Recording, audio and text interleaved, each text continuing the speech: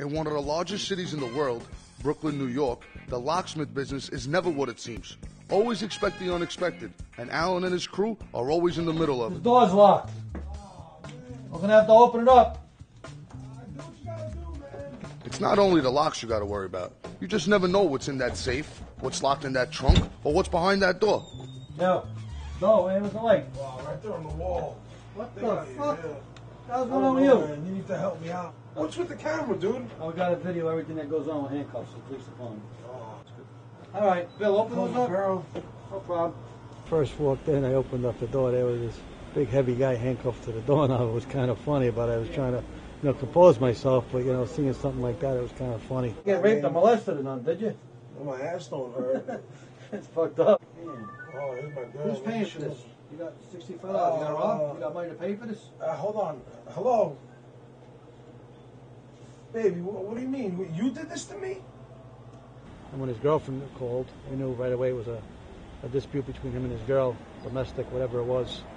So uh, there was a problem that nobody had any money to pay us, and I don't know what the hell's going on. Yeah, I just want to get paid. I want to do my job and get the hell out of here. He's telling me he's going to keep my laptop until he gets paid. You better get over here and pay for this. I'm not fucking playing with you. He had no money, so I took his laptop for collateral. He swore he was going to pay me, but he had no money. I don't know if it was a crack house. I really don't know what was going on. So I took the laptop for collateral, and we left. Look at the situation I'm in. Help me out, man. I am You helping got, you you got trucks, you got, you can got dudes, you got So, rich so pretty Take much, his chain. so pretty much, so Take pretty much, chain. Come pretty on. much you got no money, right? on. I ain't got no, no, no, right now. Come on, man. Let Let me, let me just get I need that. a laptop. Thank you. You know, hey, dude, you, you really I'm not gonna argue with you, Jack. At the end of the day, we, we worked it out for 150 bucks. So his girl paid and everything like that. Everything was fine. But the bottom line is, after looking at his girl, she was a real disaster. You could see why he was cheating on her. She was like horrible. Forget about it. A wreck. Looked like a train wreck. Brooklyn's best locksmith is family owned, and they're located in Flatbush, Brooklyn. They're one of the biggest on the East Coast, and they're always the first to be called in an emergency. We had this one incident where I had a four-year-old boy that was locked in a safe. I ran over to the scene and there was a little boy locked in a safe. We got him out. We opened up the safe. And that was pretty much basically it. It was it's my job. I just opened the lock up to get the kid out, and I was happy he was okay.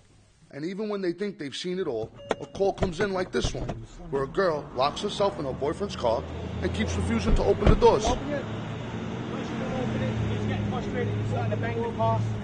I try to open it up. She takes it, she locked it, pull my tools away. I need my fucking car. What's going on over here? It's my fucking girlfriend won't get, let me in the car. It's my car. I need to get to work, and she's busting my balls. She's not giving me the fucking car. We pulled up. The little girl was locked in the car. She didn't want to let us. She didn't want to let nobody in. I tried talking to her. She's a cute little kid, reminded me of like one of my kids. I was trying to be nice.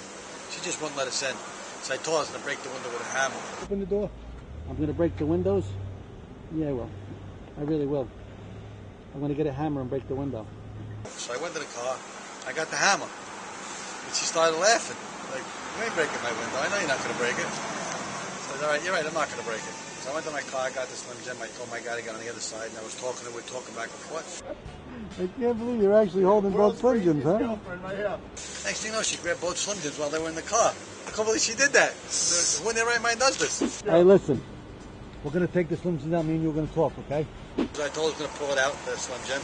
So she gave me the shot to pull it out. When she gave me the shot to pull it out, I jammed it. Opened our door lock, oh, which opened the four doors, which her boyfriend jumped in the back seat and opened up the oh, car door. Where the fuck you going? Steph, get over here. Got the door open. As soon as we got it open, she jetted away. I had to chase them because I had to get my money. you wanted they to tried, get paid? That's right. I had to get. Yes, I got paid. Of course. This is some of the stuff you got to deal with being a locksmith in Brooklyn.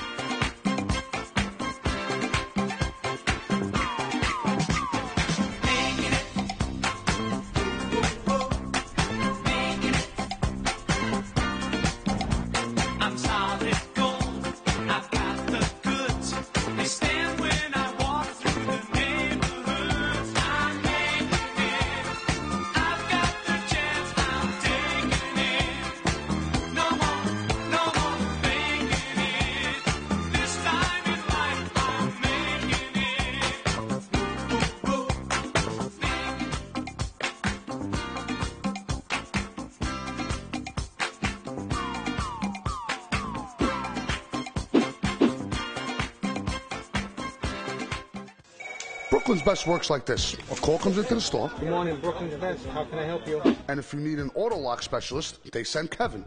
Richie is the safe technician. For cameras, they send Joey. For locknetics and buzzers, they'll send Bill.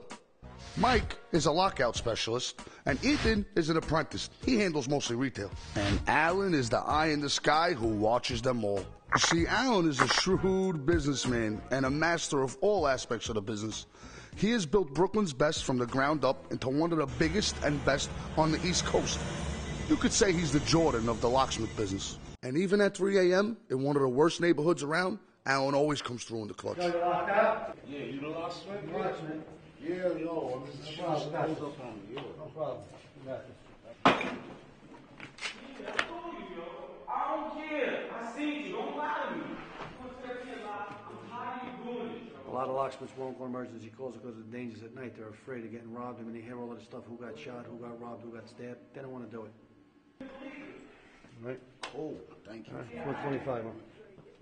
That cigarette threw it like was sixty dollars, right? No, one twenty-five. I told you. Come on, man, help me, brother. One There's no, time. It's one twenty-five. You got it? It's three in the morning. You got it? Come on. See you later. You're locked out. Take care. Have a good day. Pack up. Let's get out of Come here. here for no reason. I ain't got time for this. right, all Should right, have paid. all right, I got you. I got you one twenty-five. Give me one twenty-five first. I ain't got time. No, no. Pay me first. Oh, man, we want to go to first. bed. I ain't got time. done Three with. thirty in the morning. I want to get out of here. He's thieving out here. I'm David. I'm out at three thirty in the morning. I want to go to bed. All right, no problem. Pay. Have a good night. and That's it.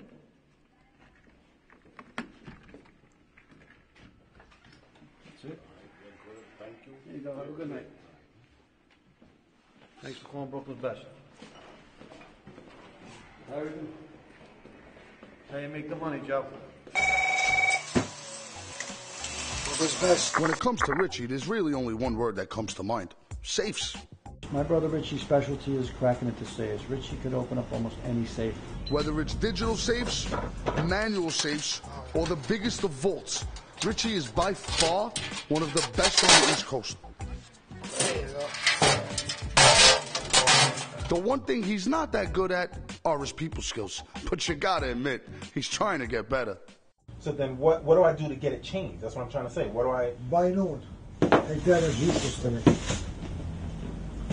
How much? How much is a new one? Ninety-five dollars. I don't have ninety five dollars, man. That's what I'm saying. I don't know what to tell you. Yo, but this isn't it a lock? Isn't it a locksmith? Aren't y'all supposed to like help me or something like that? Yeah, help you. I'll buy you. I'll sell you another one. That's how I help you. Locksmith and hardware. Now, Alan's brother Joey, he's new to the business. He's kind of got a clear head. He really doesn't let anything get to him, including his job. If there's a job or there's a hockey game, Joey will go to the hockey game and then do the job. If Joey's got to do a job, he'll tell the customer in three hours I'll be there. And I don't know how, but they wait for him. Joey will finish the hockey game with the kids and then go to the job. Uh, just got to make sure he puts the lock on right because lots of times he puts them on backward. Joe actually does go out on some jobs, even if it's himself that's locked out. Even locksmiths get locked out. They call me the claw because I go after everyone that owes him money. Now, Alan's mom does everything behind the scenes to make sure the business runs smoothly. They call my mother the claw because if they don't pay, she'll actually go to somebody's office and force them to pay. When she shows up to the office, they pay her. 99% of the times, my mother always gets paid when she shows up to their office. They don't want a 78 year old lady screaming and yelling in their place. They pay her. If Alan has to go someplace. Alan will tell me, fine. I go outside, I watch the workers, I watch the register, I watch everything. And if I have to report anything to him, it's my son. It's his business. It's his livelihood. I report to him. And no matter how busy the stores are, no matter what crazy calls come in, Alan always makes time to pick up his daughter Daniela from school. Daniela is Alan's pride and joy. She answers phones and helps with the customers. My name's Daniela and I've been picking locks since I'm eight years old. This is my pick set, and each one of these picks is for, for different locks. Do me a favor, you finish real quick, open up, I'll take. Uh, but Daniela's real talent is picking locks. At 14 years old, she's better and faster than people twice her age. She's well on her way to being one of the best the business has ever seen.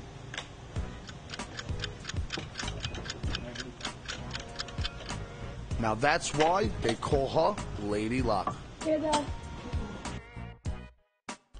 And at the end of the day, Brooklyn's Best is about family. They're about enjoying their jobs Jesus. And of course, they're about business. Another call just came in. Being a locksmith is an adventure. Combine that with Brooklyn, and anything is possible. They're the lock pickers of Flatbush. They're Brooklyn's best. You're about to take a drive through their world. So buckle up, sit back, and enjoy the ride. I know I will. Yeah. Yeah, I'm out at Brooklyn. Now I'm down in Tribeca, right next to De Niro. But I'll be hood forever. I'm the new Sinatra. And since I made it here, I can make it anywhere. Yeah, they love me everywhere. I used to cop in Harlem.